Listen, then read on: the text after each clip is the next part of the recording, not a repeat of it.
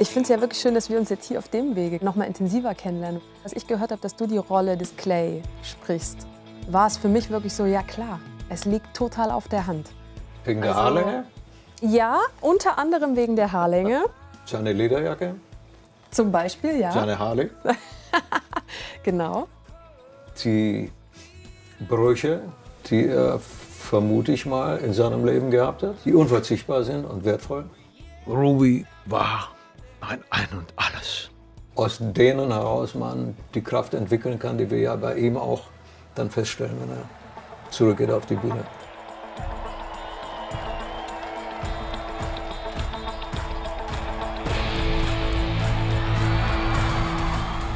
Wenn du dir dieses äh, kleine, aufgeregte, auch ein bisschen rebellische Stachelschwein anguckst, dann kann man, glaube ich, schon ein paar Parallelen entdecken, wenn man mich kennt.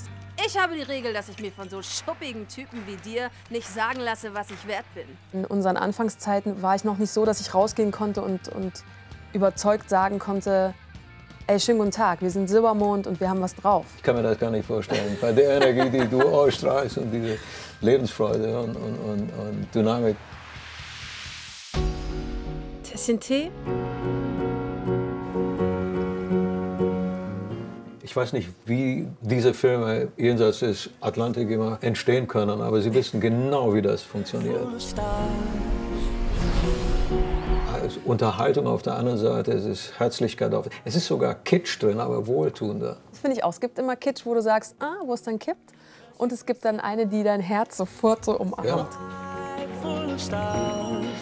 Ich würde nie auf Musik verzichten können. Und wenn ich noch so schräg krächzen würde, ich würde es versuchen. ich habe manchmal das Gefühl, wenn du diese, diese Leidenschaft der Musik in dir trägst, dann, dann kann man das auch immer wieder wecken und dann kann dir diese Leidenschaft sowohl in den schönsten Situationen deines Lebens der beste Freund sein, als auch in schwierigen Situationen ein guter Begleiter.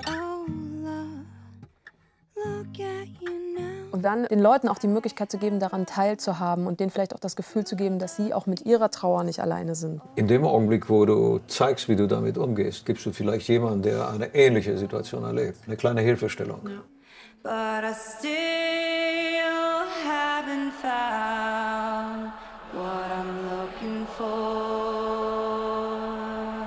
Es gibt ja diesen Satz, den ich sehr gut finde nach wie vor: Live hard, die fast.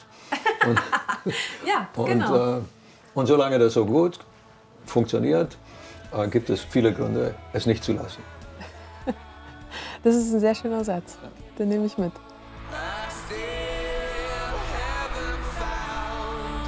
What I'm looking for